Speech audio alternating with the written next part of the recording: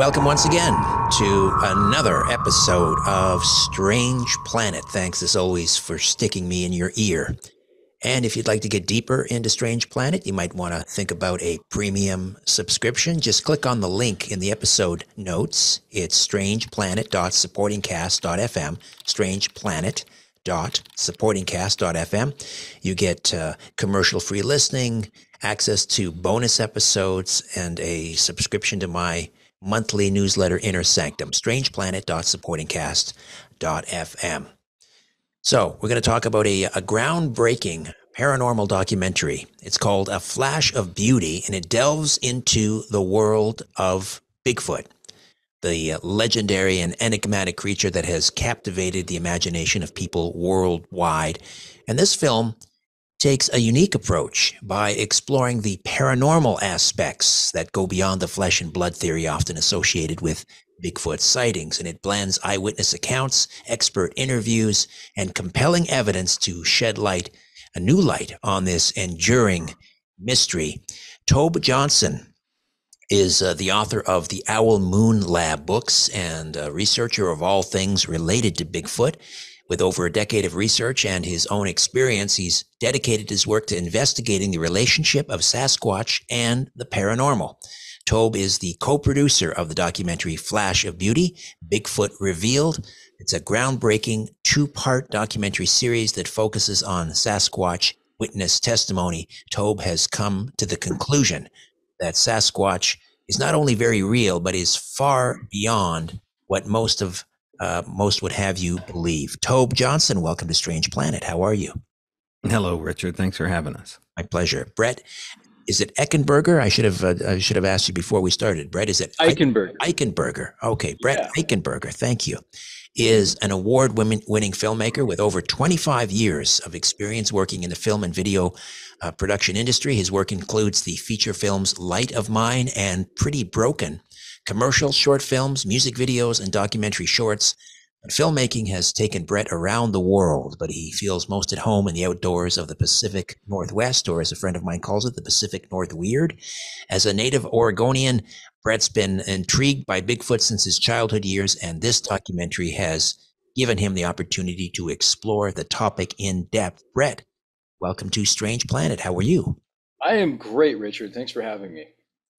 Um, what is both of your backgrounds with Sasquatch? I know you've been fascinated, Brett, since uh, you were very young. Uh, uh, Tobe, what about? Well, we'll come back to you, Brett, but because I know a little bit, you know, you've been interested since you were young in Bigfoot. But what about for you, Tobe? When did it begin?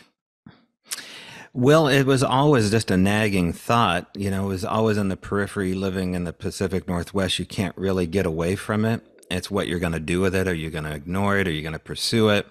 And um, my son and I happened to find a, a single track, uh, you know, a barefoot, naked, human-looking track, circa 2005 time frame, near the town of Springfield, Oregon. And so that just kind of pursued father and son interest and that's how the the whole thing began was really just on a innocent hike finding a single footprint in the icy mud near near springfield oregon. And uh, brett how about for you? You know uh, like like i said or like you said earlier i've been interested in bigfoot ever since i was a little little kid. I, I don't remember when i wasn't interested in bigfoot. And growing up here in the pacific north weird i'm going to use that by the way um, you know you can't avoid it. You can't avoid it. And even though I live in a in a huge metropolitan area, of Portland, Oregon, we're surrounded by forests, and I've already done the research, and we've had Bigfoot sightings within five to ten miles from where we live in the suburbs, and so we're surrounded by them. And you know, I've just always been interested in the paranormal, and so you know, anytime I go out into the wilderness, I'm kind of you know, I'm kind of looking around for Bigfoot, and so when the opportunity came during the pandemic to finally do a documentary about Bigfoot both Jill, the co-producer, um, or the producer, I should say, Tobe's the co-producer, and I decided to go on a Bigfoot adventure, and we had no idea where it would take us.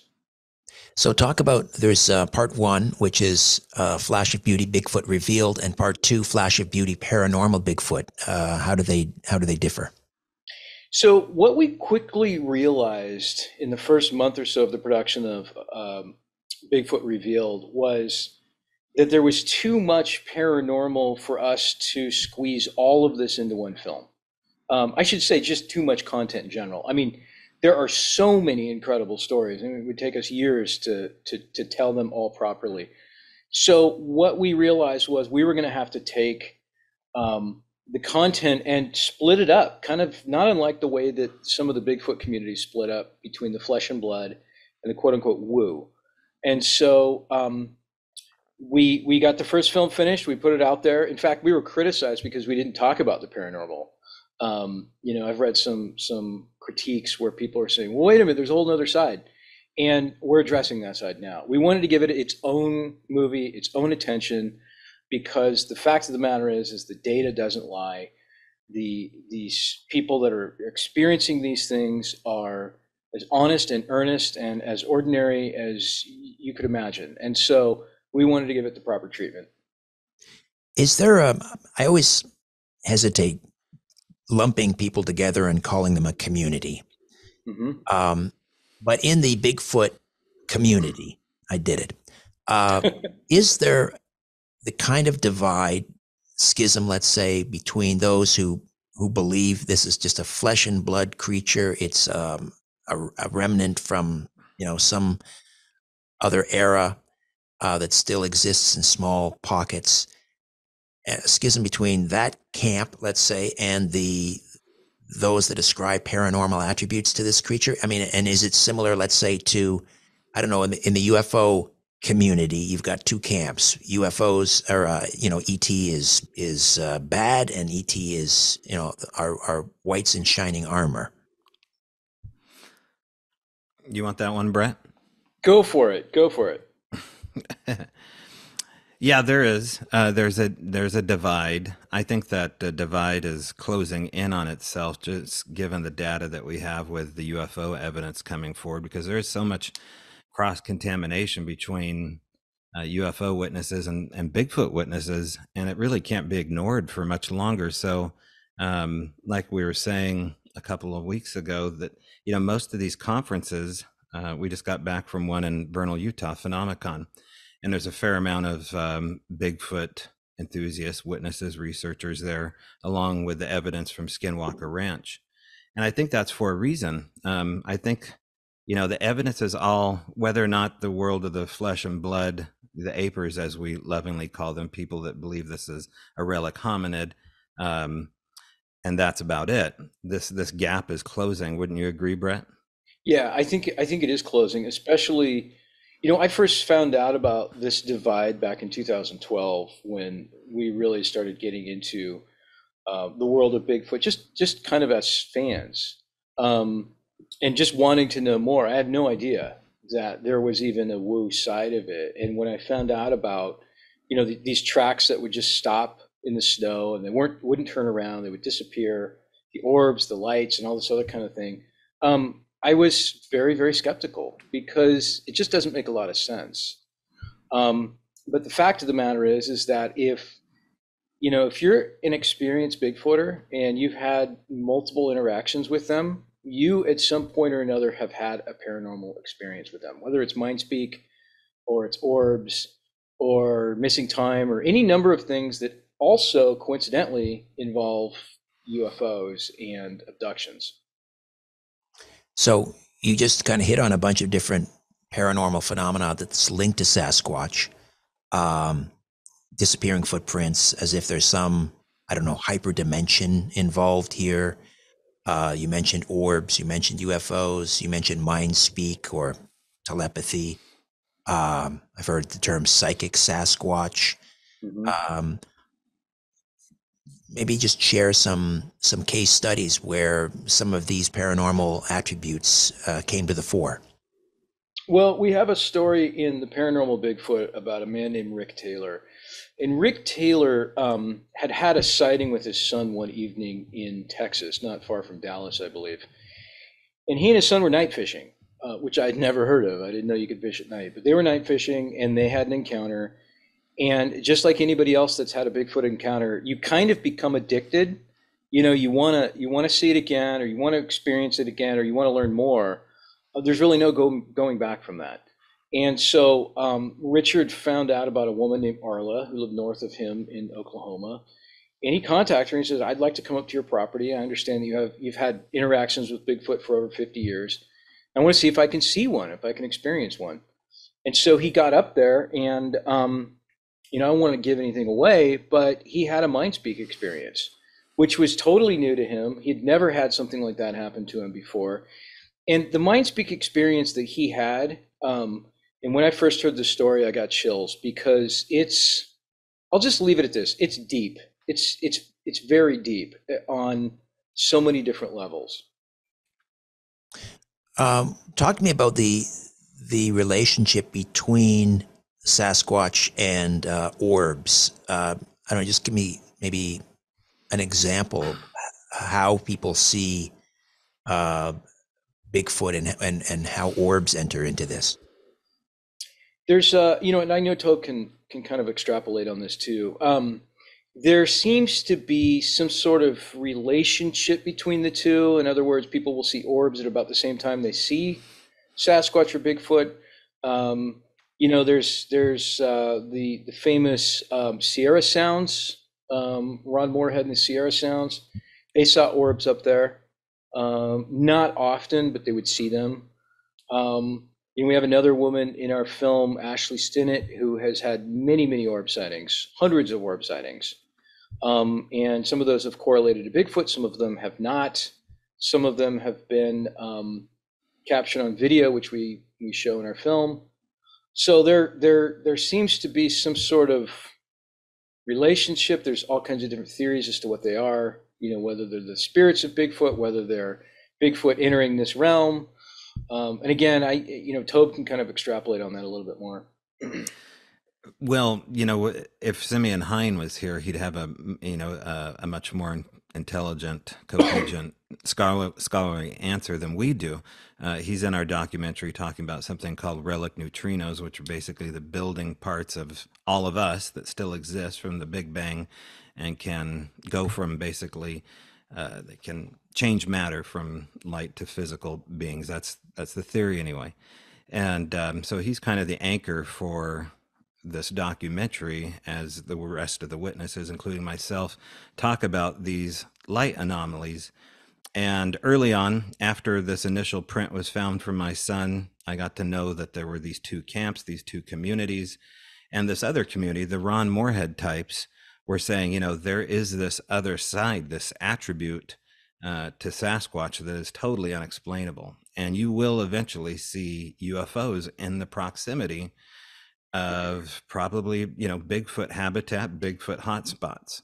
Um, and that gets into these place names, which we talk about, which are names all over the you know the globe. All, you find a map, it has a crazy name like Devil Mountain, you know, um, Wendigo Ridge, things like that.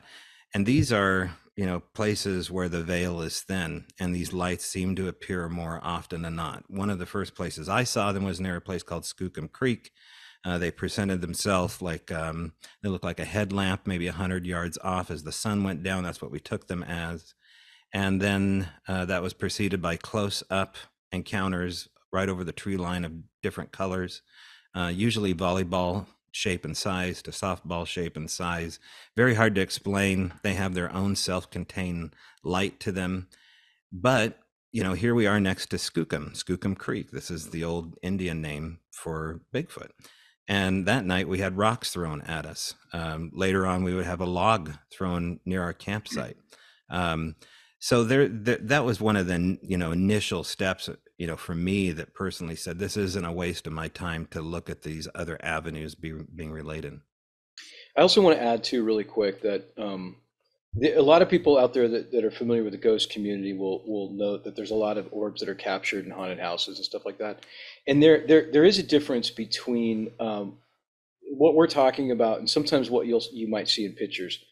Uh, there's a lot of times, and, and this gets kind of technically, you know, into the way that a camera functions. But there are a lot of times where you might get a raindrop or indoor dust particles or whatnot, and and those will look like orbs, but they're not necessarily orbs you they're, they're translucent. You can see through them, and that all has to do with the way that the the flash fires and the way that the shutter works in the camera. So what we're talking about are actual physical glowing balls of light that people see with their eyes. It's not something they're picking up in a still frame or something like that. Mhm. So I, I just want to be very specific on, on what we're talking about so people can really start forming an idea in their mind. Um, Dr. Simeon Hein talks about ball lightning, Hmm. and, and there's some people out there that are familiar with ball lightning. It's the same, we think that it might be the same kind of um, mechanics and dynamics.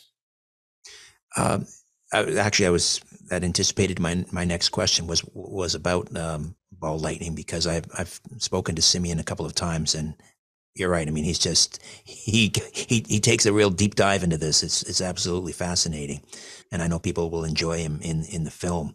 Uh, is there a paranormal um, attribute that we we haven't talked about that people might be shocked, surprised to know that is somehow associated with Bigfoot? We haven't talked about cloaking yet. Um, and there's some people out there that might be a little surprised about cloaking. Um, you know, again, that's another example of a story that we have in our film. Um, you know, and a number of years ago, this this particular video um, got quite a bit of views on YouTube, and and basically, it's a cloaked Bigfoot that was taken by you know Barb Shoup, uh, middle of the day in near Mount Rainier, just outside of Mount Rainier National Park. And um, this video is very compelling. Um, you know, I was skeptical when I first saw it. I asked Barb if I could have the original footage from the camera. That's very important to me. I want to make sure it wasn't tampered with or hoaxed. And I went through it and I looked to debunk it. And, you know, that's what we need to do as researchers. So I went through it and I went through it and I went through it and I went through it. And I, you know, I kept checking boxes going, no, this is real, this is real, this is real. And finally I got to the, exhausted my list and the hairs literally went like this and then I, it was then I, and they are right now. It was then that I had realized that I was looking at something absolutely extraordinary, something that that to me is on the same level the Patterson Gimlin film in the realm of the paranormal. And I know that's a lofty comparison, but I really believe it to be true. And um, we, you see a, you clearly see a figure that is cloaked. It looks like Predator, and it turns and it runs away and we show it multiple times in the film so so you know it's not hard to miss. But we do show the original footage and it's hard to see in the original footage. Mhm. what's very interesting about that is that barb Shoup, as she was recording the footage saw a black figure turn and run. It cloaked on camera but it didn't cloak in real life. Oh, interesting. stunning. Stunning. And i mean you talk about advanced intelligence. There's a great example of it right now. So i took that footage and i showed it to Erik Bard the, the head scientist of skinwalker ranch tv show and of skinwalker ranch and uh, he was at a loss of words he didn't know what to say Gentlemen, we'll take a quick time out, come back, and uh, continue to delve into paranormal Bigfoot. Stay with us. Hi there. If you want to watch the rest of these episodes, please head over to my Rumble channel, Richard Syrett's Strange Planet. You can watch complete episodes there. New, complete, unedited episodes drop every Monday, Wednesday, and Friday. Again, the Rumble channel is Richard Syrett's Strange Planet. In the meantime, I want to thank you for supporting this YouTube channel all of these years. However, the problem is I never know when I'm going to run afoul of the censors at YouTube. I never know when I'm going to end up in YouTube jail. There doesn't seem to be any rhyme or reason. And in fact, two more strikes and this YouTube channel will be taken down altogether. So help me fight big tech censorship. Enjoy the complete unedited episodes and join the rest of the Strange Planet community over on Rumble. Again, Richard Syrett's Strange Planet on rumble.com. See you over there.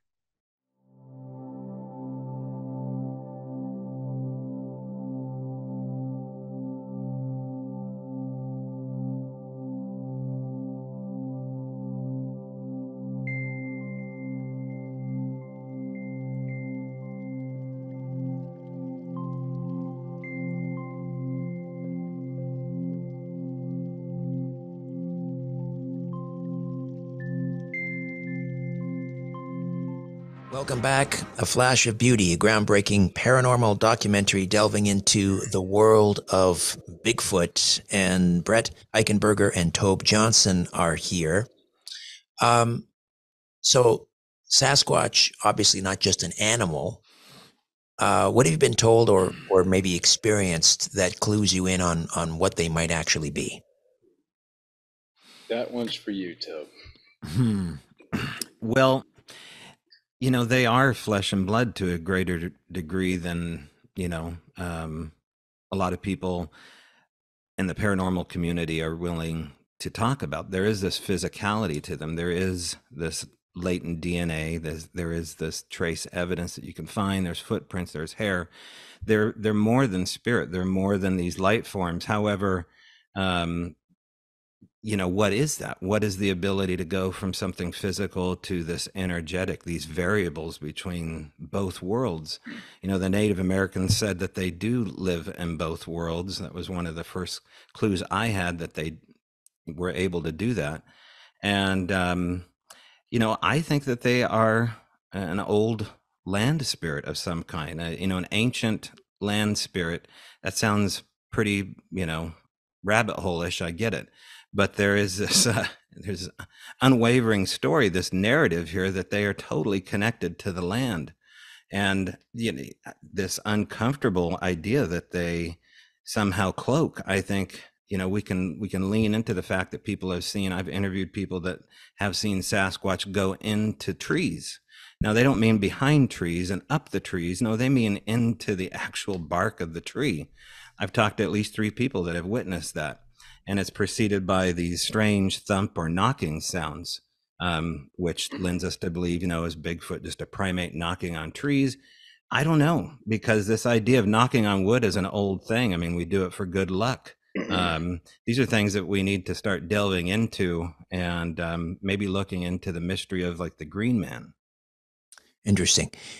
The idea that they can cloak, that they they seem to be able to um, move from one dimension into another. Uh, doesn't bode well for ever getting any sort of, you know, that that smoking gun piece of definitive proof, like a body, right?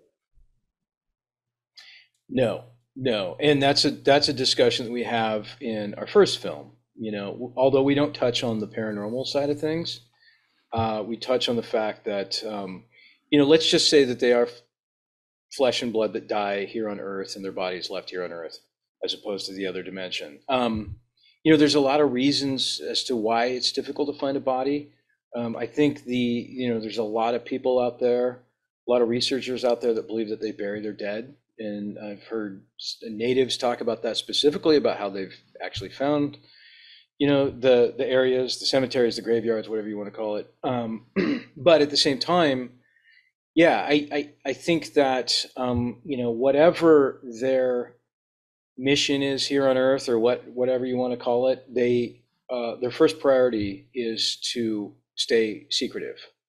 You know, with with some exceptions to that rule, and the, the exceptions to that rule, I think, pertain to certain people that are either at the right place or the right time, or they're um, they've got the mind to comprehend seeing something like that, or and or the Bigfoot can sense that this person is somebody that they can have a relationship with.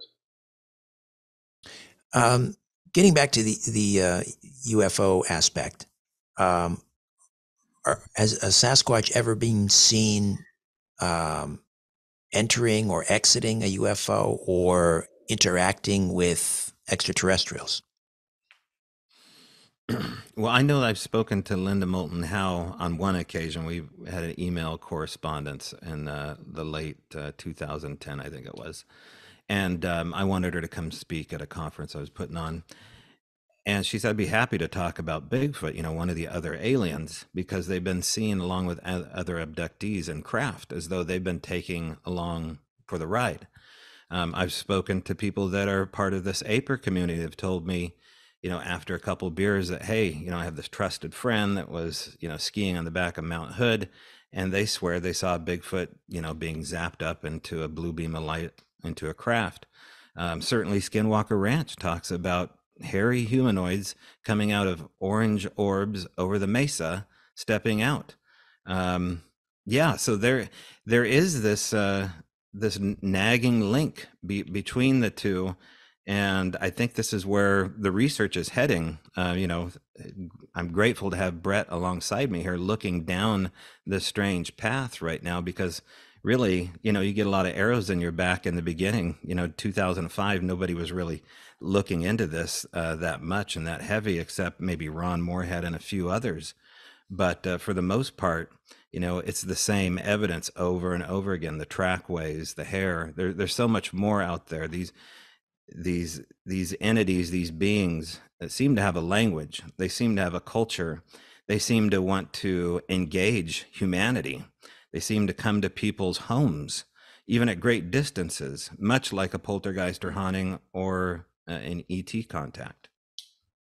Um, you mentioned the language, which brings us back to Ron Morehead and the Sierra Sounds. How would you describe the Sierra Sounds to someone who hasn't heard the audio? They are.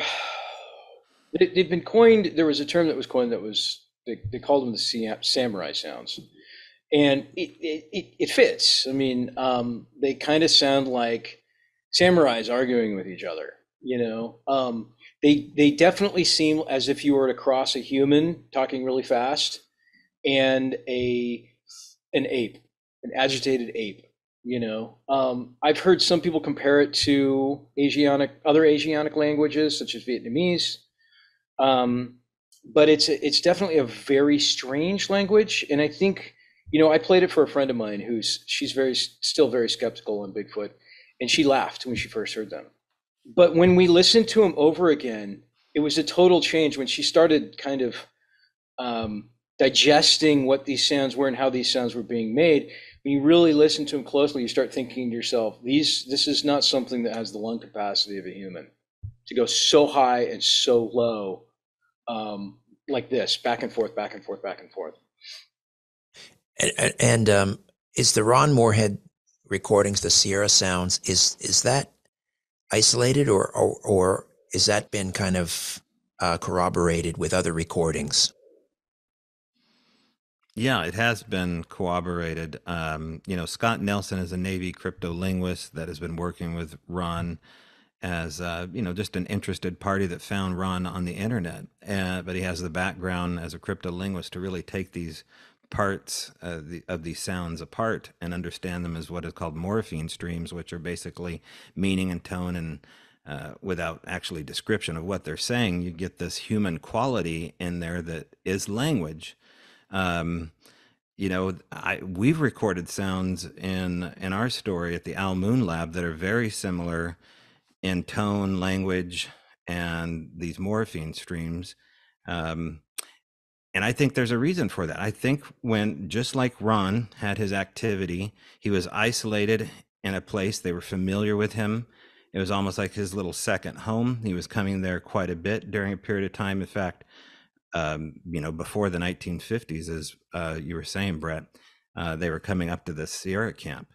Now, our place in little town of Cottage Grove, Oregon, again, we were very interested in the subject matter. It was a secluded environment near a Bigfoot area. They were coming in and out of that area, interacting with us. And eventually, using audio equipment is totally different than using camera equipment. Whatever's going on with the permission slip, we just don't have it with video. We seem to have it with audio. And so, yeah, there there is cooperation beyond just us getting what I would call, you know, samurai chatter. But um, there's there's other recordings out there as well. A guy named David Ellis, uh, who should have a book coming out soon about this, uh, talks at, at, length about that. All right, uh, Tobe and Brett, we'll take another time out, come back, and uh, delve further into paranormal Bigfoot. Stay with us. Hi there. If you want to watch the rest of these episodes, please head over to my Rumble channel, Richard Syrett's Strange Planet. You can watch complete episodes there. New, complete unedited episodes drop every Monday, Wednesday, and Friday. Again, the Rumble channel is Richard Syrett's Strange Planet. In the meantime, I want to thank you for supporting this YouTube channel all of these years. However, the problem is I never know when I'm going to run afoul of the censors at YouTube. I never know when I'm going to end up in YouTube jail. There doesn't seem to be any rhyme or reason. And in fact, two more strikes and this YouTube channel will be taken down altogether. So Help me fight big tech censorship. Enjoy the complete unedited episodes and join the rest of the Strange Planet community over on Rumble. Again, Richard Syrett's Strange Planet on rumble.com. See you over there.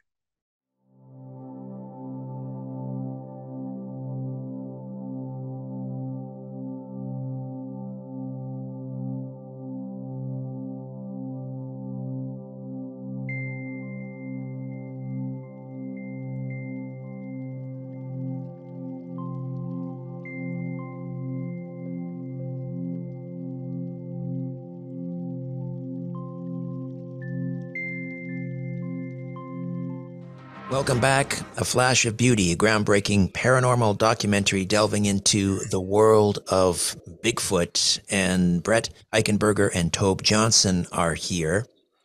Um, so, Sasquatch, obviously not just an animal. Uh, what have you been told or, or maybe experienced that clues you in on, on what they might actually be? That one's for you, Tobe. Hmm. Well, you know they are flesh and blood to a greater degree than you know um, a lot of people in the paranormal community are willing to talk about. There is this physicality to them. There is this latent dna there's, there is this trace evidence that you can find. There's footprints. There's hair.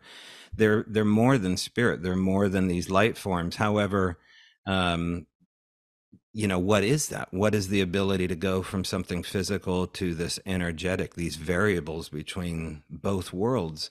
You know the native americans said that they do live in both worlds. That was one of the first clues i had that they were able to do that.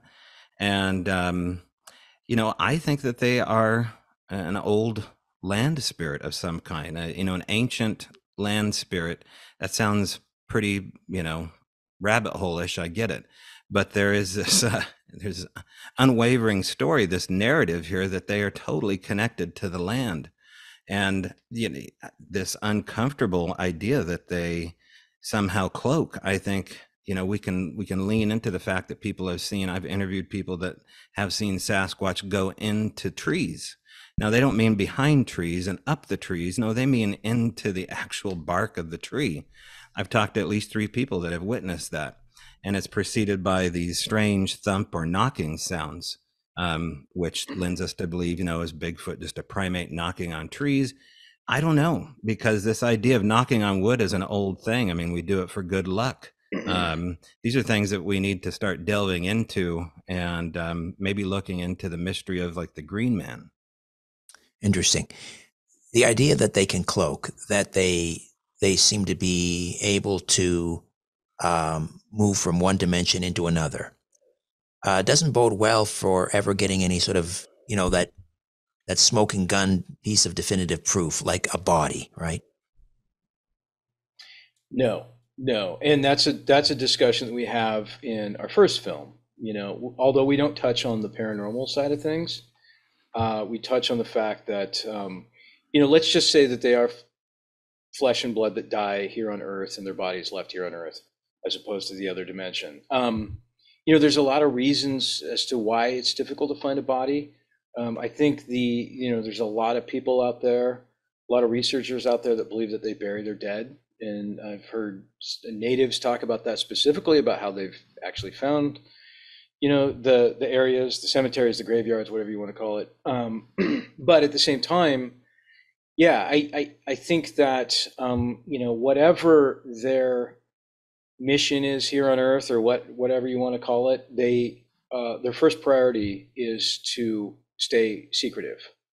You know, with with some exceptions to that rule, and the, the exceptions to that rule, I think, pertain to certain people that are either at the right place or the right time, or they're um, they've got the mind to comprehend seeing something like that, or and or the Bigfoot can sense that this person is somebody that they can have a relationship with. Um, getting back to the the uh, UFO aspect, um, are, has a Sasquatch ever been seen um, entering or exiting a UFO or interacting with extraterrestrials? Well, I know I've spoken to Linda Moulton Howe on one occasion. We had an email correspondence in uh, the late uh, 2010, I think it was and um, I wanted her to come speak at a conference I was putting on. and she said, I'd be happy to talk about Bigfoot, you know, one of the other aliens, because they've been seen along with other abductees in craft as though they've been taking along for the ride. Um, I've spoken to people that are part of this APER community. They've told me, you know, after a couple beers that, hey, you know, I have this trusted friend that was, you know, skiing on the back of Mount Hood, and they swear they saw Bigfoot, you know, being zapped up into a blue beam of light into a craft. Um, certainly, Skinwalker Ranch talks about hairy humanoids coming out of orange orbs over the mesa, stepping out. Um, yeah, so there there is this uh, this nagging link be, between the two, and I think this is where the research is heading. Uh, you know, I'm grateful to have Brett alongside me here, looking down this strange path right now because really, you know, you get a lot of arrows in your back in the beginning. You know, 2005, nobody was really looking into this uh, that much and that heavy, except maybe Ron Morehead and a few others. But uh, for the most part, you know, it's the same evidence over and over again. The trackways, the hair. There, there's so much more out there. These, these, these entities, these beings, uh, seem to have a language. They seem to have a culture. They seem to want to engage humanity they seem to come to people's homes, even at great distances, much like a poltergeist or haunting or uh, an ET contact. Um, you mentioned the language, which brings us back to Ron Morehead and the Sierra Sounds. How would you describe the Sierra Sounds to someone who hasn't heard the audio? They are. They've been coined. There was a term that was coined that was they, they called them the samurai sounds and it, it, it fits. I mean, um, they kind of sound like samurais arguing with each other. You know, um, they they definitely seem as if you were to cross a human talking really fast and a an ape, an agitated ape. You know, um, I've heard some people compare it to Asiatic other Asiatic languages such as Vietnamese. Um, but it's it's definitely a very strange language, and I think you know, I played it for a friend of mine who's she's very still very skeptical on Bigfoot, and she laughed when she first heard them. But when we listened to them over again, it was a total change when she started kind of um, digesting what these sounds were and how these sounds were being made. When you really listen to them closely, you start thinking to yourself, "These this is not something that has the lung capacity of a human to go so high and so low." Um, like this, back and forth, back and forth, back and forth. And, and um, is the Ron Morehead recordings, the Sierra Sounds, is is that isolated or or, or is that been kind of uh, corroborated with other recordings? Yeah, it has been corroborated. Um, you know, Scott Nelson is a Navy cryptolinguist that has been working with Ron as uh, you know just an interested party that found Ron on the internet. Uh, but he has the background as a cryptolinguist to really take these parts uh, the, of these sounds apart and understand them as what is called morpheme streams, which are basically meaning and tone and uh, without actually description of what they're saying, you get this human quality in there that is language. Um, you know, I, we've recorded sounds in in our story at the Owl Moon Lab that are very similar in tone, language, and these morpheme streams. Um, and I think there's a reason for that. I think when, just like Ron had his activity, he was isolated in a place, they were familiar with him.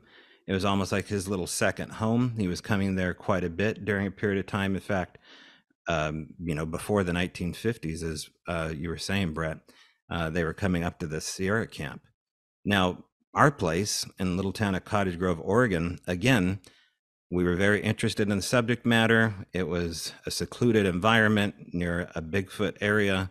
They were coming in and out of that area, interacting with us. And eventually, using audio equipment is totally different than using camera equipment. Whatever's going on with the permission slip, we just don't have it with video. We seem to have it with audio.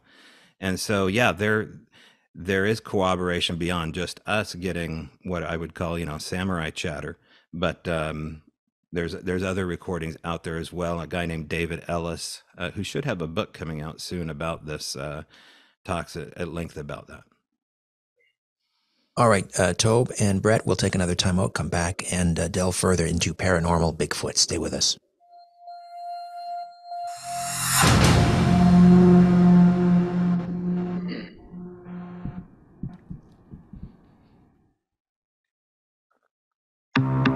As you're staring up at the night sky.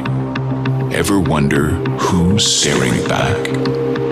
You're listening to Richard Syrett's Strange Planet.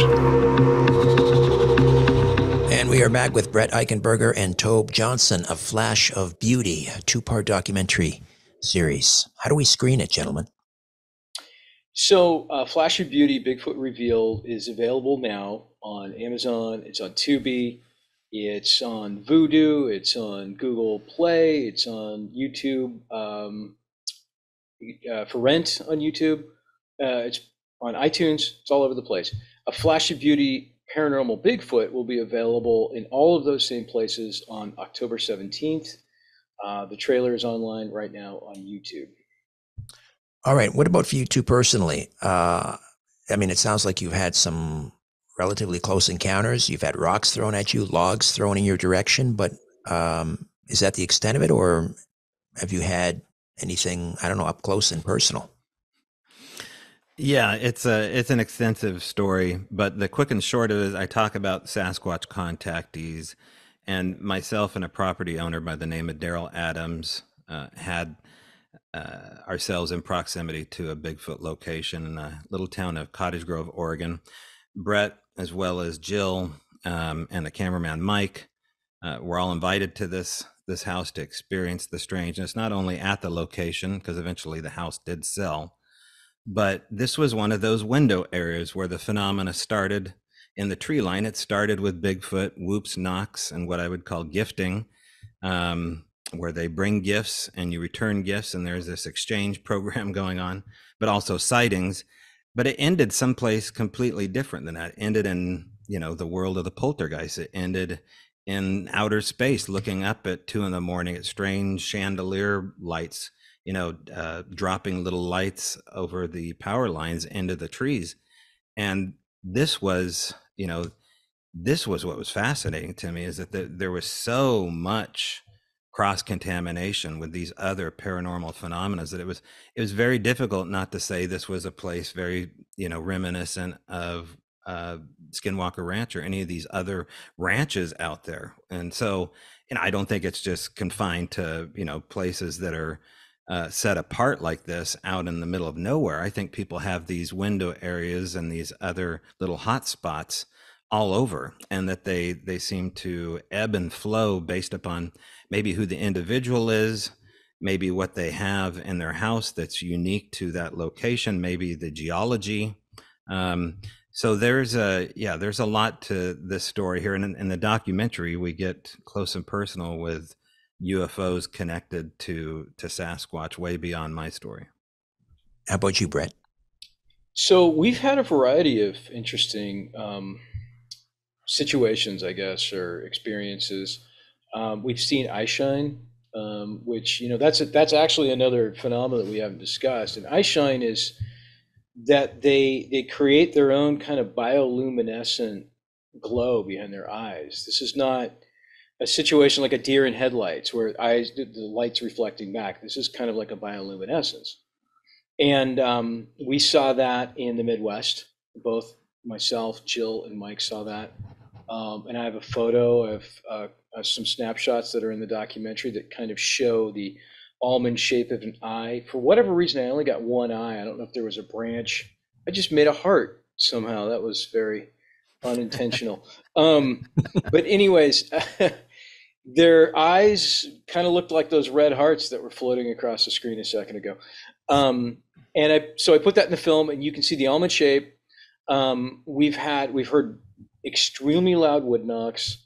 I was down in the Owl Moon Wilderness, which is featured in the film, and I was knocking on a tree, being kind of a jerk to the Bigfoot people in the area, and uh, wasn't getting any reaction. Wasn't getting any reaction. I think I did it maybe ten times, and then you know, granted, we're out in the middle of nowhere, and all of a sudden I got a response back, and it was loud and it was direct and it scared the heck out of me. And I knew it was kind of like, shut up, you know, we get it. it was very to the point. Um, and it was unmistakably the sound of wood on wood. Um, and we've had, I mean, uh, just for instance, last week we were doing an interview um, on our latest film about Ron Morehead um, that'll be out sometime late next year. And we had a Pelican case that was wide open, that container camera equipment, and we were talking about communicating with Bigfoot, and the case shut. It's just slammed shut. There was no wind. There was no nothing that would explain why something like that would happen. So we get we get small little reminders of them kind of almost saying like we're here or we're there or or whatever. Um, and it, it happens virtually at every shoot.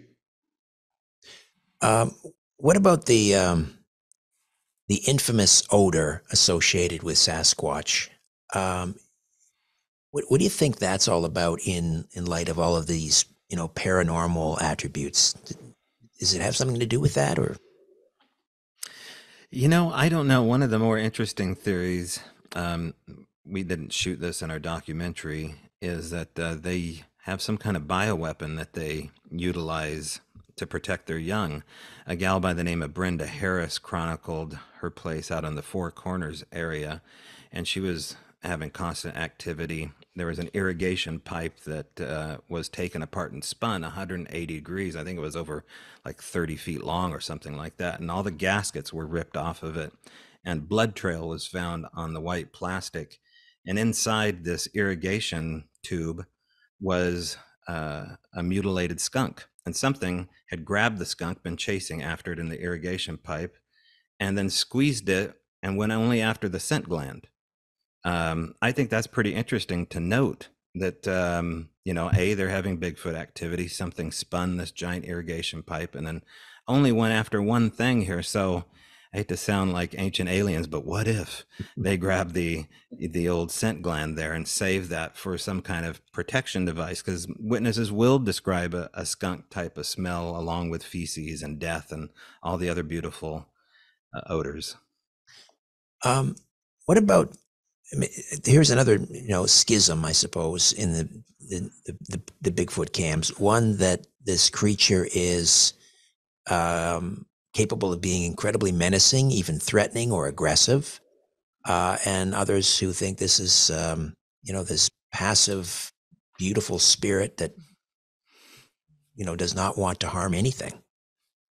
Part of the reason we called our film A Flash of Beauty is because, uh, you know, Stan Avery, who's in the first film, talks about how you see them and then in a flash of beauty, they're gone.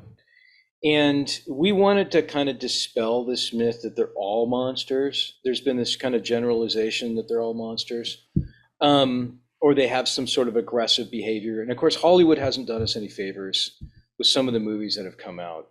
Um, you know, I I tend to tell people that they're just like people. You know, um, there are good people and there are bad people, and I think there's good people and there's I mean there's good Bigfoot and there's bad Bigfoot. You know, there's some there's definitely in the Northwest there are some tribes that are kind of known as or clans that are known as aggressive. You know, there's a clan near Mount St. Helens that's known as being aggressive. You know, I think that anytime that somebody sets foot into their territory and they're trying to protect something or they don't want you to see them, they're going to do things to try and get rid of you, throwing rocks, making scary noises, um, whatever they can to be intimidating. But on the flip side of that, there are maybe potentially thousands, more than thousands of people in this country alone or in North America alone that have relationships with them that are, um, you know, gifting based, that have a humanity to them that I think a lot of people wouldn't believe.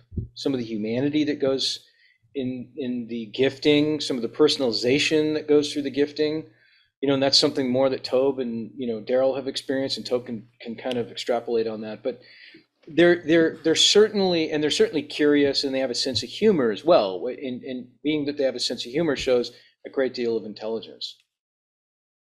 What is the appropriate gift for a Sasquatch? I mean, what talk talk to me some more about this gifting. What what what kind of gifts are exchanged? you can get away with a lot with Sasquatch. Um, you can, you don't have to spend the big dollars. You can end up at the Dollar General. They're they're plenty happy with a, a jar of peanut butter. Turns out, which is uh, a buck twenty five in Oregon. But um, one thing's, I mean, I can tell you what they're not fans of based upon what happened to us in Oregon. What they are fans of, usually shiny things, stones um, seem to be a big one. Um, they seem to bring stuff, what I would call like a Sasquatch goodwill. They seem to have uh, items that you would find at a campsite or in the dump, which I think is apropos to this discussion, that have a bit of a patina on them of mud or moss, wear and tear. Um, they're aged items. They can be broken, small to big, right? From muddy cell phones to thermoses to the everything in between. And these items will be inexplicably laid or set someplace that you just were. And sometimes they're objects of significance based upon what you're thinking about or what you need. Now, you know, this is how you rule out hoaxing really quick is that these items express themselves in people's locked homes. They express themselves at far distances in their locked car. And mm. yet they seem to be attributes of Sasquatch just based upon the nurturing aspect of giving and receiving these gifts in these hot spots.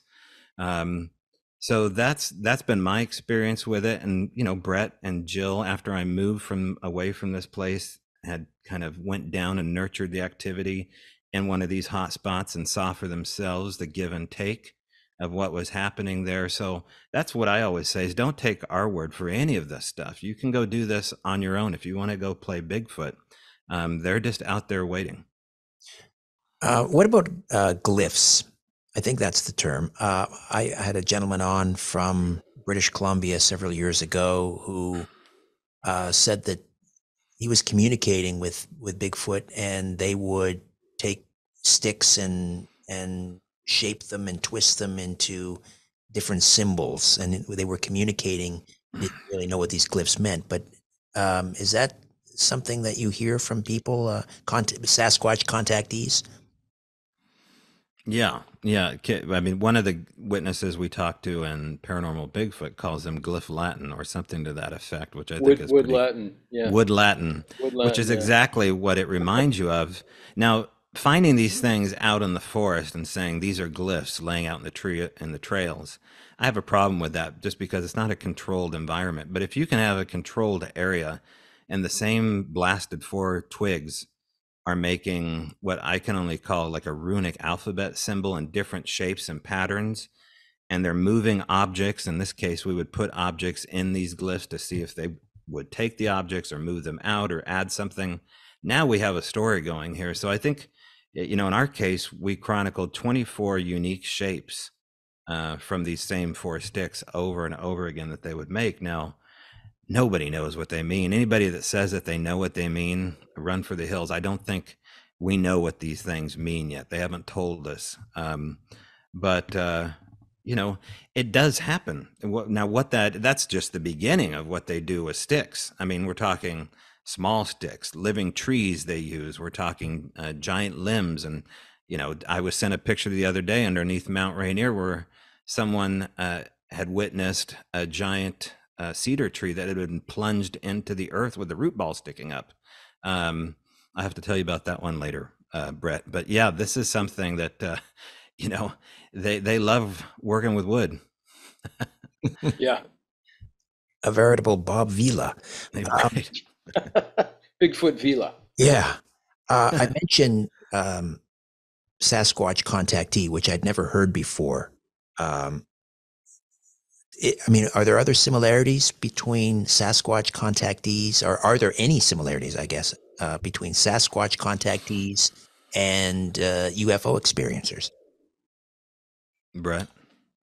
You might have a better one, better answer than I. On that I don't think. I mean, in the documentary, we get really get into it. We're trying to save, especially the ending, um, you know, f- of this film. Uh, We just got back from Phenomicon in Vernal, Utah, home to all sorts of strangeness in the in the basin there in Utah. Um, we had a UFO witness come to Flash of Beauty after I'd met him. You know, we all stayed at the same hotel, and all the great Bigfoot and UFO stories start about six in the morning down in the uh, breakfast nook at the Holiday Inn in Vernal. If anybody wants to get, to, uh, you know, uh, the down low on what's going on, and there was a UFO witness that was unfamiliar with my work, unfamiliar with Brett, an incredible background. Um, and I won't get into it, but we invited him to, you know, as a, a UFO witness to come see this Bigfoot film because of the ending of this movie is so similar to what this UFO witness, I'm sorry, USO witness USO. underwater. Yeah, not a UFO, USO. Um, and so, you know, he was moved to tears. Uh, he was absolutely, I remember watching his head go down at the end of this movie, you know, with a crowd of about 75 to 100 people watching it. And he was just, you know, there was confirmation that he was not alone as a witness and that this happens outside of this world and it comes from all diverse backgrounds and that's really the joy of what i like to do is i like to be in the company of people to network them to say hey you should meet this person. This is how we can get closer to this here. I'm you know i'm not always the source here to interview these people or talk to them. I i, I try to put people together that can help other people to get this done and then i kind of take the data. Um, so yeah it's there's a lot of a lot of distinct and we're just brushing the surface here. I could get into it deep Yeah, and I just want to add to that real quick too, that, that the, some of the similarities, if you, if you put Bigfoot contactees or Bigfoot experiencers up with alien abductees or people who have had near close encounters of the third kind, um, you have, you, you have psychological impact. And, you know, a lot of people talk about psychological impact and, and it's hard to measure. And, you know, recent science, medical science is showing that, that that type of PTSD like trauma will actually leave a, a an impression on the brain. There's actually a physical bruise, if you will, in the brain that you can see uh, with specialized equipment. And you know, some of the individuals that we interview in both films were moved or changed dramatically from a psychological standpoint. And that's very important for us to address because it's not talked about enough. You know, again, like I said earlier, a lot of these people become obsessed with seeing another Bigfoot. They become, um, you know, they have nightmares. They they become paranoid of the outdoors or the nighttime or, you know, you name it. You know, it affects people in totally different ways. Some people, it, it, you know, they're just fascinated by it, and that's that's it. You know, these people might have thick skin, call it what you want, but some of these other people, um, you know, that that Doug Meacham talks about in our first film, they go under hypnotherapy and um, and recall and recount some of these um, encounters so that they can kind of go on and heal you know from from their experiences so it's it, it's a big it's a big deal What about for the two of you? I mean, I can't imagine um, getting into this field and seeing what you've seen and documenting all of this and experiencing what you've experienced, and then at the end of you know this two-parter, just move on to some other completely different subject matter. I mean, how? Did, I mean, did you become? Have you become obsessed with Bigfoot, and how is this going to change maybe the trajectory of your your professional lives and your personal lives going forward? um yes Right, to answer your right. question yes yeah uh, I, I mean, you know, I, I talked to a friend yesterday who's been a Bigfoot researcher for seven or eight years, and this summer he had his first sighting, and it just amped everything up. I mean, he was he was in it to win it as it was before. I mean, that was not where he hangs up his research tools, I guess, if you will, or his hiking boots, maybe. Um, and I feel the same way. I mean, as as far as a career trajectory is concerned, I'm a storyteller. Jill's a storyteller. Um, you know, Tobe's a storyteller. He's got a wonderful podcast. Everybody should go back and listen to Strange Brow Radio. Um, and tells wonderful stories. We're all storytellers in that you know we want to get out and we want to have these experiences firsthand to tell these stories, and we want to give voices to people that don't have voices. So uh, we'll just see. We'll just see where it goes. I, you know, one day I would love to do a, a narrative feature film about you know that that falls in line with the Close Encounters of the Third Kind. You know, the classic Spielberg film, but throw on a Bigfoot instead of a UFO. Mhm. Tobe, how about you? Well, yeah, I mean, Brett's favorite film is my favorite film, Close Encounters of the Third Kind. And uh, Roy Neary, you know, says when he's making the mashed potatoes over the dinner plate in his family, shooting them weird looks, this means something. This all means something, folks. Something is about to break. Um, all this disclosure stuff just didn't happen. This is all carefully orchestrated as far as us being more in the know about what's going on now. Are they feeding us a narrative they want to feed us? Probably.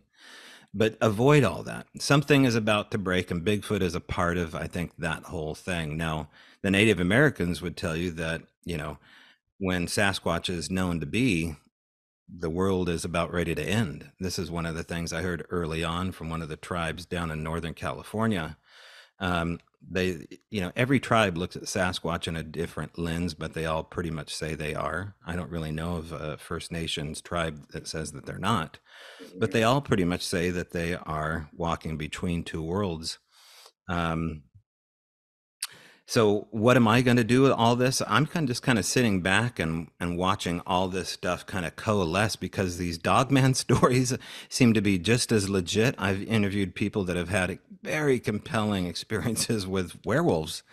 Um, and the UFO stuff just is uh, is so fascinating. And uh, you know, we just had an interview with Dr. Jeff Meldrum, um, and we should all probably send up some prayer for him because I know he had a, a, medical issue here recently. But uh, we talked to Jeff uh, about UFOs in this podcast, and I was shocked to learn that he was following that very closely. I think that's really, I found that deeply fascinating that the scholarly, um, you know, Bigfoot expert is also following this UFO disclosure thing because I think it lays out the groundwork groundwork for how we kind of handle things in the Bigfoot world and maybe what we don't do. But I don't think we should change the name to UAPs. Um, you know, I still am a big fan of UFOs. Likewise, likewise. Yeah. A flash of beauty. Again, give us the particulars, the details on how we can screen a flash of beauty Bigfoot revealed and paranormal Bigfoot. Flash of Beauty Bigfoot revealed is on Amazon, uh, YouTube for rent, Vudu, Google Play, iTunes, um, and Tubi. And Paranormal Bigfoot will be released October 17th. The pre orders are available now. Um, and again, you can follow us on Facebook. Um, just type in Flash of Beauty, Bigfoot Revealed will pop up. And, you know, both Jill and I like to read every single message that comes in. And if you've got a story, we'd love to hear it. Gentlemen, thank you both. Fascinating.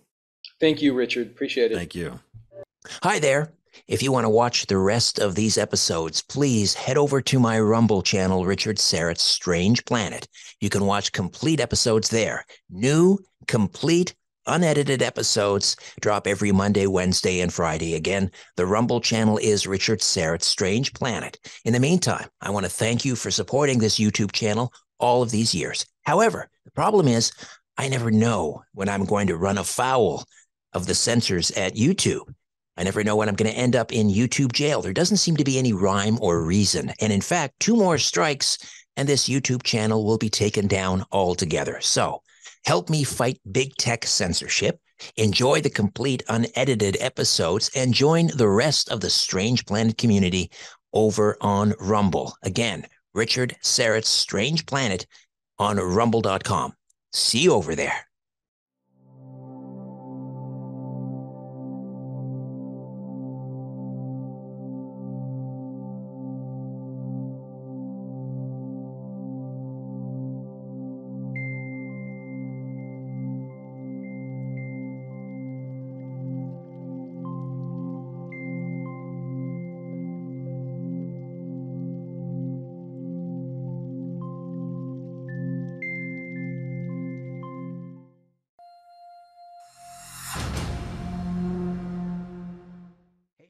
Hey there, and welcome to another episode of Strange Planet. Thanks as always for sticking me in your ear. And if you'd like to get deeper into Strange Planet, it's real simple. Just click on the link in the episode description, strangeplanet.supportingcast.fm, strangeplanet.supportingcast.fm, and uh, there are three monthly subscriber tiers to choose from. Choose the one that's right for you. You gain access to commercial free listening, although I love my sponsors.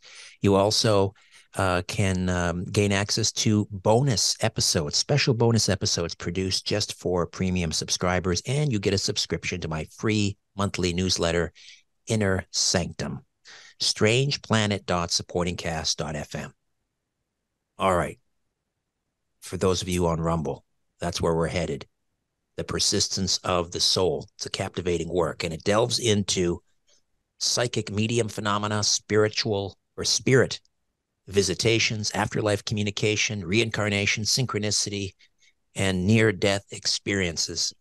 And my guest has, through meticulous research and heartfelt introspection, woven together a narrative that underscores the continuity of consciousness beyond the confines of the physical body. This is uh, ultimately really the only topic that matters. What happens after we die? Mark Ireland is the co founder of Helping Parents Heal, an organization with more than 24,000 members that assists bereaved parents worldwide. He's participated in mediumship research studies uh, conducted by the University of Arizona and University of Virginia, and he currently operates a medium certification program. He is the author of Soul Shift, and uh, again, his latest is The Persistence of the Soul Medium, Spirit Visitations, and Afterlife Communication. Mark Ireland, welcome to Strange Planet. How are you? I'm great. Thanks for having me. You actually got your copy before I've even seen the finished printed copy. How about that? there you go. Well, that's what that's, it looks like, Mark. If you're, it looks great. it does. It looks great. Uh, so we should begin with the death of your son. Uh, tell us about him. Sure. Um, my youngest son, Brandon, um, he was 18 years old at the time. And on this particular day, I had been out of town for work the prior week came home and he had in, uh, indicated he would plan to hike to the top of the McDowell Mountains in Scottsdale, Arizona, where we were living, which was behind our home. And uh, I felt a little uneasy about it. And later on that morning, I felt almost like I got this premonition or something like something could go wrong. I tried to talk him out of going. He went anyway. And his parting words to me, Hey, dad, we're going, you know, like back off and at that point it's like look maybe i'm just being a worried dad for no good reason. But we had gone across town uh, to some other event and later in the day i got this distress, distress call. We came rushing back and by the time we got to the base of the mountains there was a swarm of people fire trucks ambulance um, later a helicopter came down found out um, brandon had um, had basically died on the top of the mountain didn't know why or what had happened. Uh, talked to his best buddy who had tried to revive him, and uh, he had just said that his uh, limbs had, were numb and he was complaining of a rapid heartbeat, uh, but he really didn't know what was wrong, and um, and that was what had happened. Um, and kind of the beginning stages of some of the signs and synchronicities and my plunging back into this this field, uh, which was really my dad's field mm-hmm. of psychic phenomena mediumship, happened after that. And we can get into that at whatever point you'd like. Well, first of all, uh, you know, as a father of uh, twin, soon to be 17 year olds, uh, I am so sorry for your loss. I, I cannot imagine well, thank uh, you, Richard. what you went through. Um, so you mentioned your father the late Dr. Richard Ireland, who was a uh, bit of a renowned psychic medium himself.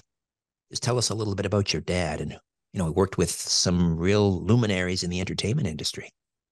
Yeah, he did. Um, you know, he started out, I think, really his abilities were discovered when he was about five years old. He was born in uh, near Columbus, Ohio, and he was born cross-eyed. So my grandma, grandparents had taken him into the children's hospital there in Columbus for corrective surgery on his eyes. And after the surgery had been completed, he was laying in a bed and he was actually restrained because they were concerned. His eyes were cupped and bandaged. They didn't want him touching them.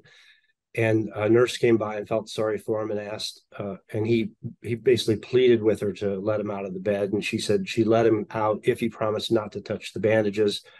So he he agreed to that. She went on her rounds, came back and found him bouncing a ball against the wall and catching it and thinking, oh my God, he's taken off the bandages, but he hadn't. So that was almost even more disturbing to her. And then she rounded up some physicians to have them observe this. And then they put him in bed and tried some different exercises to see, you know, what was going on. So they'd have one stand at the foot of the bed and another talk from the doorway and ask who was ask him who was staying at the foot of the bed, and he always got it correct. So you know that was kind of the early sign from my family that there was something different about my dad.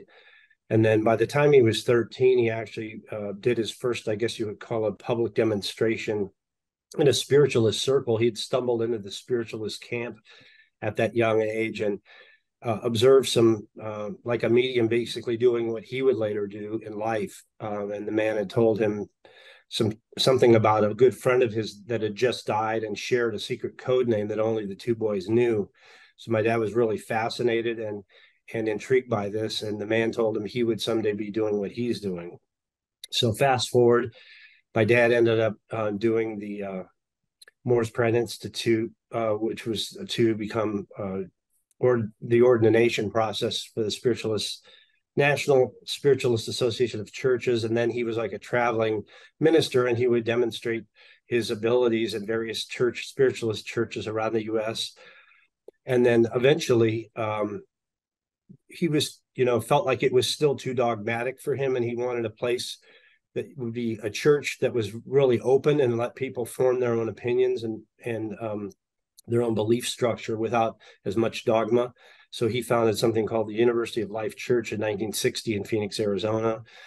And then he met a lot of people over the years, one of which was Mae West in 1952. He was introduced by Jack Kelly, who was a famous uh, spiritualist medium of the day and then um, he, my dad, eventually after Kelly had passed, um, he reconnected with Mae and became her personal psychic.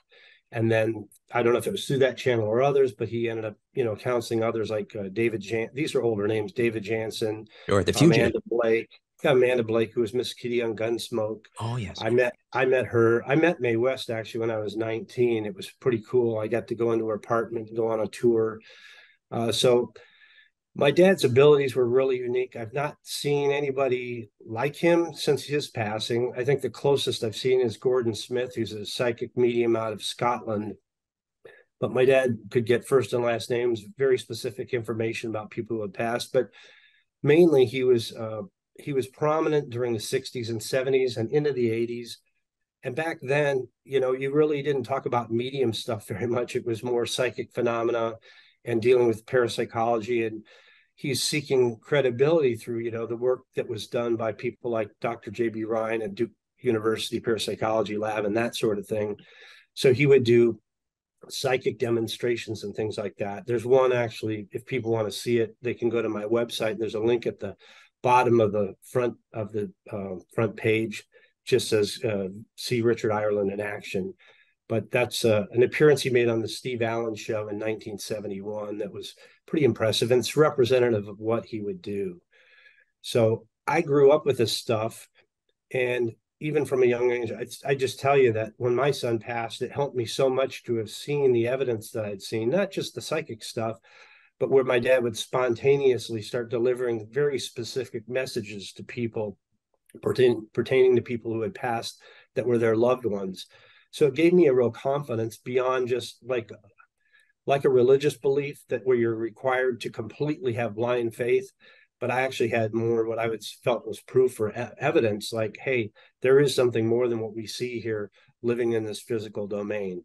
So that's a little bit about my dad and where i was coming from at the time my son passed and how it helped me kind of bridge that a little better than probably the average person that's a remarkable remarkable story were there other uh, people in your family, because sometimes this is generational, others uh, members of your family who were psychic? Yeah, it's it's interesting you say that too, because uh, Dr. Julie Beischel of Windbridge, she uh, has stated, and I've already known this, that you know it is it does follow family lines. So my great my great grandmother apparently had this. My grandmother ended up having it as well, and then my uncle, who was my dad's younger brother, had it. In fact, it was just days after my son Brandon's passing that I spoke with my uncle. Um, actually, I spoke to him the day of the passing, but we didn't know the cause of death. He called me several days later, or I called him. I can't remember which it was when I was in the mortuary making arrangements. And he told me, he said, Hey, Mark, I've gotten something to share with you. Um, he says, You know, last night I tried to make a connection um, through meditation, but I couldn't get anything. But this morning I got up doing my morning meditation, and your dad came to me and he wanted you to know that he was there when Brandon passed. And he he he said Brandon was a little confused what was going on, but he helped him adjust, helped him cross over. Brandon wanted you to know that you're the best parents he ever could have had. And that's the thing we like to hear. But what he gave me along with that was the evidence. And that's what I'm all about. Hmm. Uh, he said, you know, Brandon's death was caused by a lack of oxygen in his bloodstream that eventually caused his heart to fail. Um, it was a couple days after that that I spoke to the physician who conducted the autopsy. She told me my son had died from a severe asthma attack that drove his blood oxygen levels down, causing cardiac arrest. So my uncle actually told me two days or three days before the autopsy result. So that was really the first thing bringing me back into my dad's world and his realm and his field, and, something that I shared with everyone we knew that was of great comfort. So, with your son's uh, passing, um, did this sort of push you into further investigation of afterlife communication and and um, more of what your father was doing? Absolutely, um, it's interesting because I was always proud of my dad and I appreciated his work and I bring friends to see him and things like that. But I went down a different path in life. How many of us really want to be our parent, right? So I went into the, I got a college degree. I got married young, went into the business world and was doing well. But this kind of shook me up and said, hey, it's time to reassess where you're headed in life. And I, I haven't gotten out of the business world, but my focus is different now. And I'm not so absorbed into that and so focused on just worldly achievement, I would say. Um, so that brought me really out of you know um, intrigue and interest. I remembered everything I'd seen growing up and my dad's abilities, but I wanted to see you know who does this today. what are they like? You know, how does it work for them? And can I make connection? You know, and and and I would say one of the earliest things that happened, which was really interesting. I was watching um, an excerpt on the local Phoenix area NBC affiliate, and they were showing um, about a study that was going on at the University of Arizona at the time, where they were uh, testing mediums under blinded conditions where they couldn't see the sitter. The sitter is the person who's seeking messages. Is that uh, Gary Schwartz? Gary Schwartz. Yeah, it, it, was Gary at the time, and and um, and actually, um, Julie Beischel started out as an assistant in the lab, but she founded Windbridge years later, and she does her own thing and her work is meticulous. So I was watching this thing about Gary and his work, and at the time they showed a clip with Allison Dubois. Now, most people would know her name from the show Medium, which was a Hollywood production. The early episodes actually were based on true accounts that she was involved with, but um, it was the real Allison Dubois that the story is about that was um, that was on this clip. And the information she was sharing with this couple that she couldn't see or communicate with was later validated by the couple. It was really specific stuff. And I thought, wow, she's really good. I'd really enjoy having a, a session with her. And I'd love to be in that lab. Well, little did I know both of those things were going to transpire. The very next day, I get a call out of the blue from a man in Dallas, Texas named Jerry Conser, who had been in friends with my father.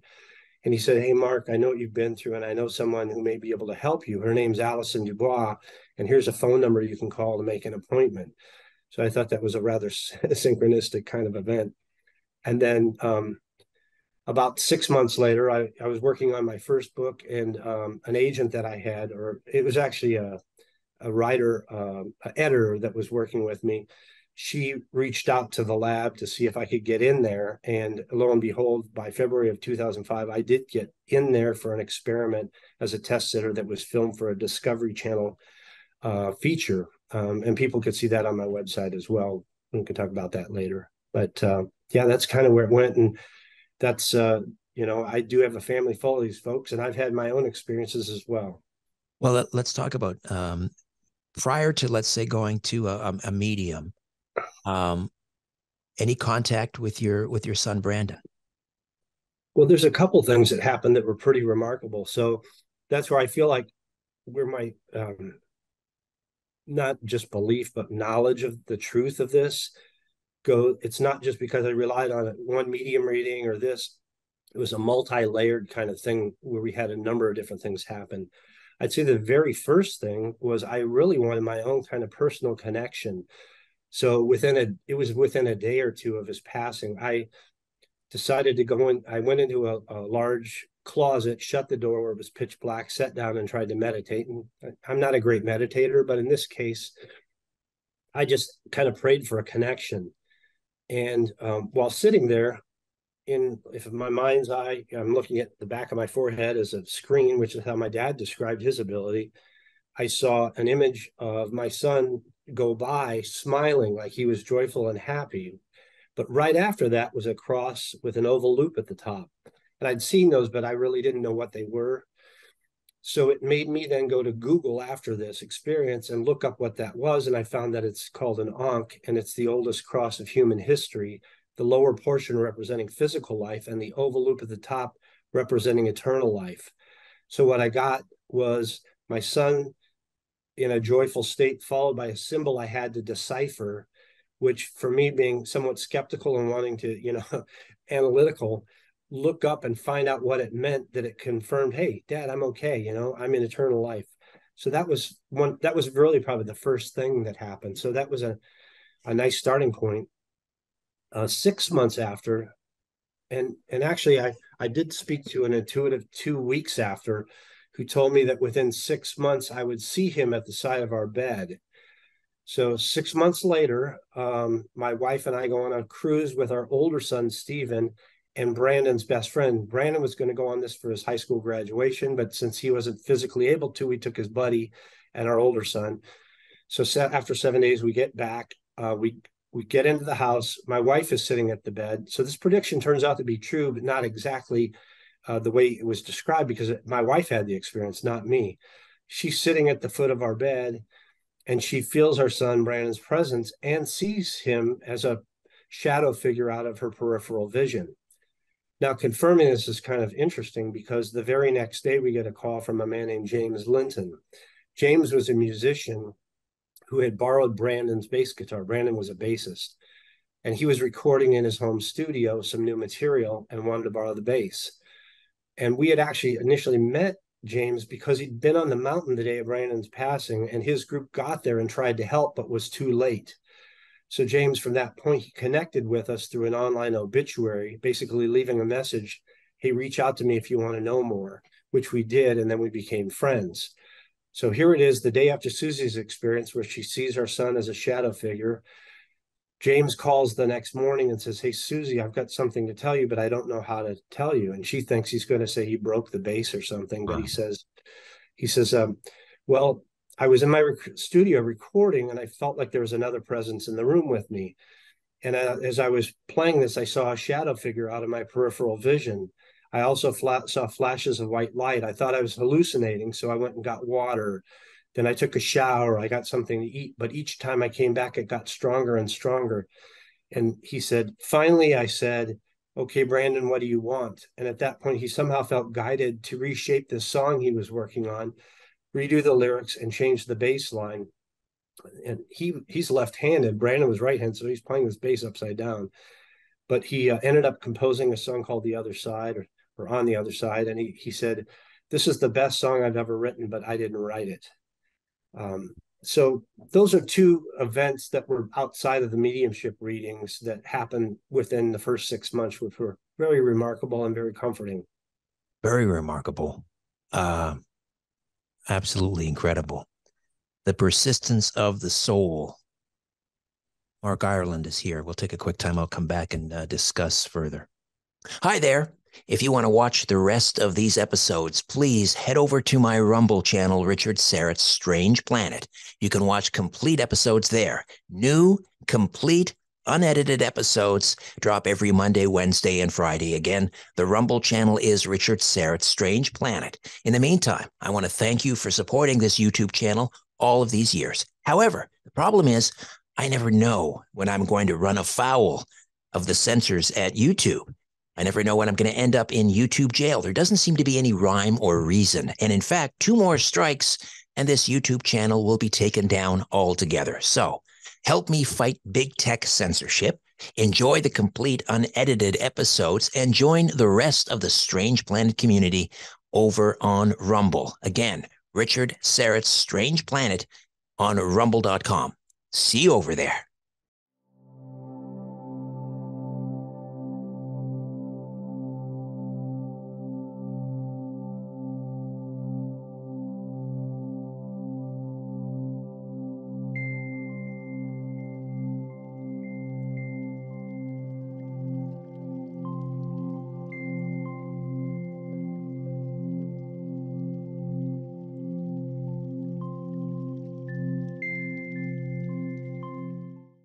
Ireland is here. The resist the persistence of the soul, medium, spirit visitations, and afterlife communication. Um, at this point, I mean, where are you in your your your your grieving process? It's just been what six six months. Well, no, well, you know what I'm describing to you is what happened back then, but I'm I'm dec- I'm more than a decade into it now. Right, but at the t- uh, yeah at the time yeah, when, um, it was about six months, I guess.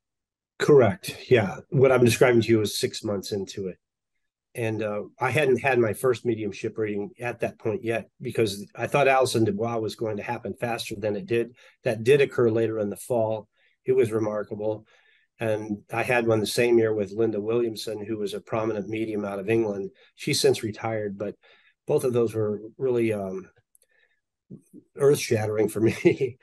And and kind of led me on on the path but um yeah it brought me back into my dad's field looking at this through a, a, variety of different lenses with an analytical mind but an open mind and um and yeah it was about like you said at the six month point that that experience had happened with my wife.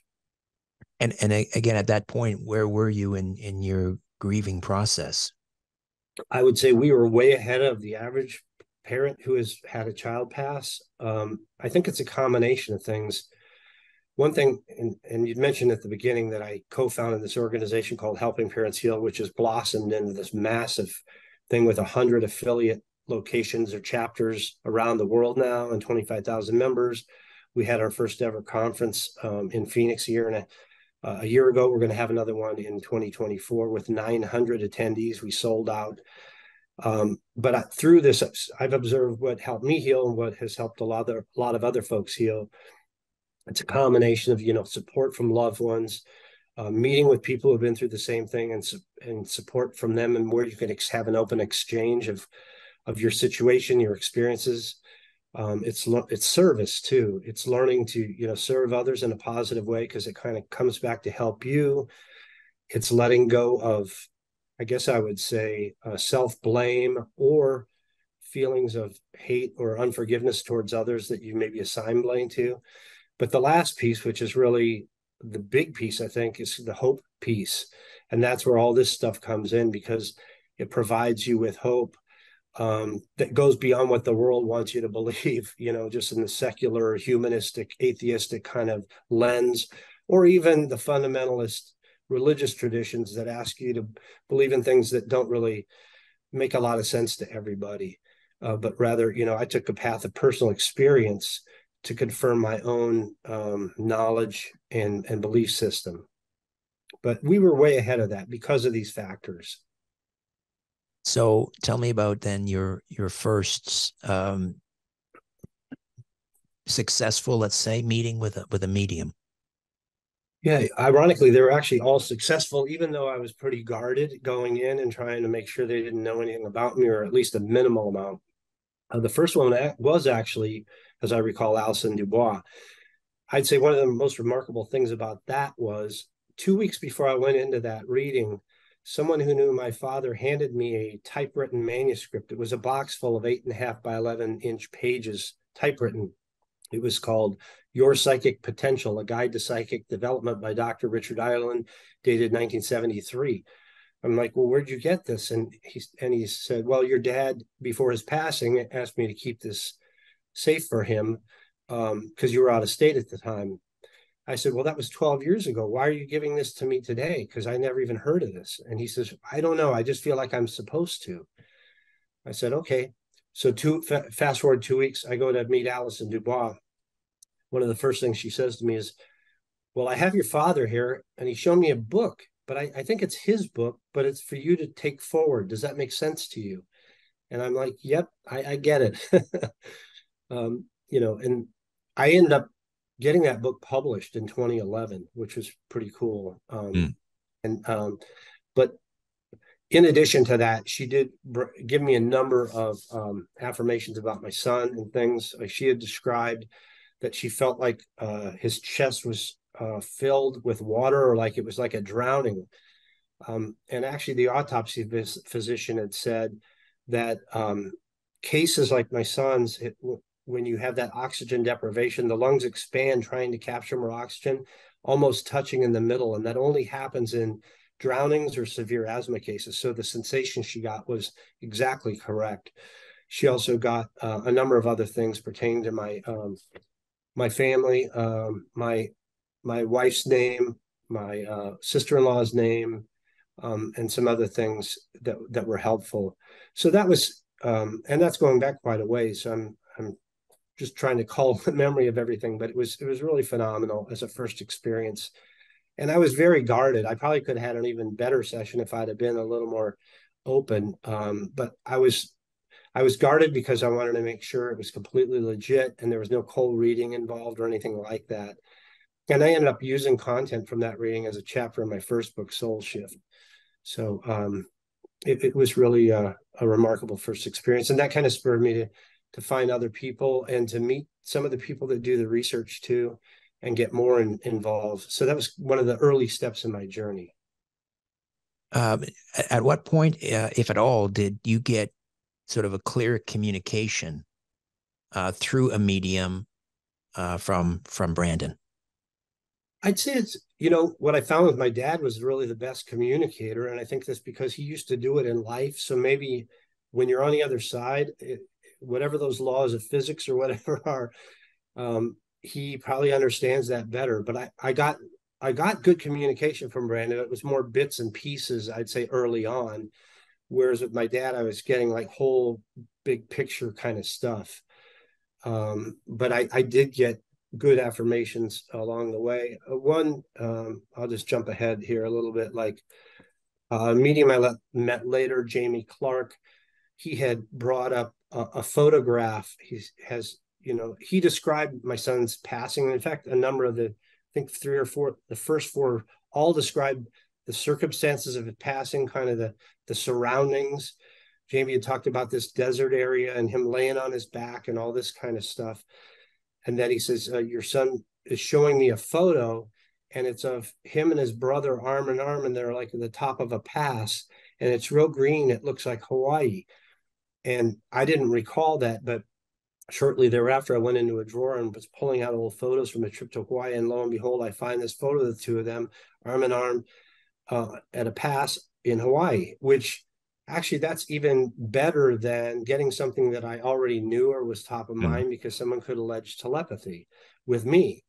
So it clearly wasn't a case of that. It was giving me something that I kind of had to dig up, almost like going back to the Ankh thing I mentioned earlier, where, mm okay, here's here's a little project for you, Dad. Go find this.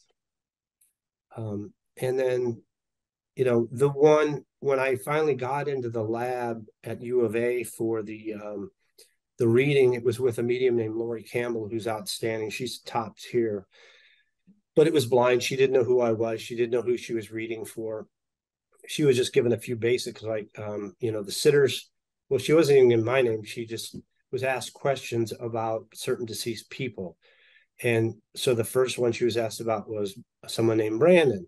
And then she had brought forth like well i feel like the person behind me um, is maybe writing about him. And i was i was writing the the book soul shift and it was largely about brandon his life and all these experiences. And she says well i feel like she was asked for his cause of death. And she so said my chest area i feel like my chest like um it's it's i can't breathe uh, and i feel like i want to throw up well, Brandon's buddy, uh, who had tried to resuscitate him, said that just before Brandon passed out, he did throw up. He vomited, um, and she uh, she said that the his school had done something for him, like a tree with a plaque. Well, he went to Saguaro High School in Scottsdale, Arizona. Um, a young man who I don't know if he's a friend or just being kind, but he sculpted a metal bass guitar and it was put there with a plaque with Brandon's name and a, a Pink Floyd verse mm-hmm. on it, and then a tree was planted behind that. So these are things she couldn't have known, obviously. Uh, so there was, you know, a lot of good detail and, and, information that was shared in those early sessions. And then, you know, even after Soul Shift was written, I had other experiences. I think the one that was most touching of all is actually documented in Persistence of the Soul. It was with a medium named Tina Powers, who's based in Tucson share, please, if you can. Yeah, that one, um, there was just so much there, even early on. I was brought to that reading by a friend that lived in Tucson, and she was like begging me to go meet this Tina Powers. and she said that, um, you know, you got to meet her. She's phenomenal. And and so she says, I've set up this this reading for myself. Will you please come? And I had a two hour drive. I said, all right. So I just went down, give her moral support. So we sit down with Tina. Tina looks surprised, like, who's this guy? What's he doing here? This is your reading. So um, she introduces me by first name. We sit down, and Tina starts to go in for her, and she says, I'm sorry, but I have to turn my attention to him. I feel like this reading's for him. And so the whole thing happened for me at that point. Um, and she went on, she says, um, Well, the first thing I'm feeling, I'm being taken across the ocean, and I feel like I'm in Ireland. And I said, Well, I think that's a clue because that's my last name. so um, she went on about uh, a number of things. Um, but I think the most touching thing was I was, I don't want to hurt anyone's feeling. There's someone I was working with at the time on a project, and um, Tina had named what this person's occupation was and said that um, because we had had kind of a, a rift over this whole situation with this woman and Tina basically took on my son's persona and said, uh, She didn't get it. She didn't get it, Dad. Exactly as my son would have said it. So it was almost like it was channeling him directly after giving me the specifics about the person, their role, what they did for a living, and all this kind of stuff. Um, that was really touching. She also talked about, you know, uh, research that had been done on my dad because I was trying to dig up because he had often talked about being tested in various labs uh, looking up information that um, I was trying to find this, and that she said that I would find, and I did turn up some of these these things, including um, one of the most remarkable one was actually a uh, newspaper article from 1972 from the Tuscaloosa, Alabama Times. I think it was called the Tuscaloosa Times or News. Um, and a man named Helmut Schmidt, who was the number two man who worked for the Duke uh, Parapsychology Lab back in the day under J.B. Rhine. He was the director. He had gone um, and he had made mention in this article about, ha- you know, that he felt like the, the lab could have gotten even better results if they'd used professional psychics, where J.B. Rhine was always hesitant to do that. He was afraid if someone would try and trick him or whatever. Mm-hmm. But um, they held the controls. So really, there shouldn't have been any chance of that happening anyhow. But Helmut Schmidt had made mention of going to see this psychic Dr. Richard Ireland. And he said that um, he he was there and he decided to do his own test on my father. So it's kind of for Duke, but an unofficial one for Duke. Um, he had gone to like three different tables of people, and he said, uh, "Give me a number, one to ten. So he wrote a number for each table. One was three. The next gave him eight. The next gave him five. So he took the number three eight five, wrote it in writing, put it in a sealed envelope, Meantime, my father, as part of his demonstration, would cover his eyes with 10 strips 10 strips of Johnson Johnson medical tape, which if you've ever used is extremely sticky. It'll pull any hair off when it when it's removed. So it seals tight against over his eyes, down. He even covers his nose in case people would allege that he could look through his nostrils or something crazy like that. Three opaque black blindfolds, and then more tape down covering his cheek here, so there's no way he could even if somebody would allege, oh, you could somehow still see through the blindfolds, it was taped below that, covering that bottom. So Schmidt he takes this envelope and sends it up to to the uh, lectern where my dad was, and um and it along with these other messages, which are called billets, that he would give people messages to, um, and um, my dad grabbed the envelope without opening it and said, "Oh, you want to know what's in this? It's the number three eight five written in red ink." And so Schmidt's just blown away. And he's like, well, you know, the odds against this are millions to one. So that was his argument that they should have brought some professional psychics in for the research.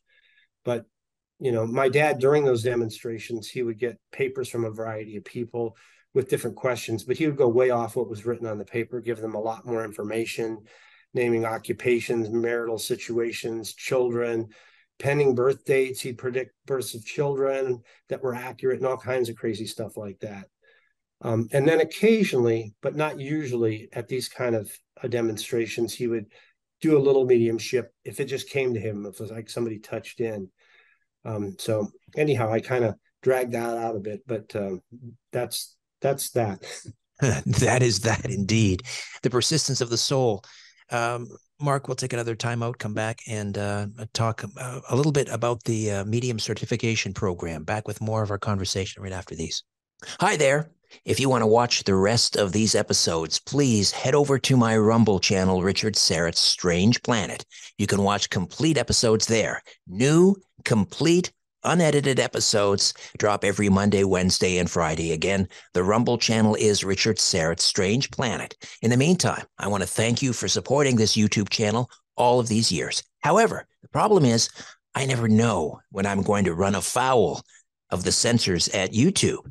I never know when I'm going to end up in YouTube jail. There doesn't seem to be any rhyme or reason. And in fact, two more strikes and this YouTube channel will be taken down altogether. So help me fight big tech censorship, enjoy the complete unedited episodes, and join the rest of the Strange Planet community over on Rumble. Again, Richard Syrett's Strange Planet on rumble.com. See you over there.